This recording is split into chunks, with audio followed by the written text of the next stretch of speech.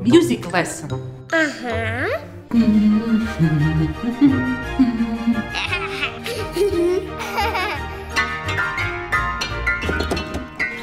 uh, Stop, stop.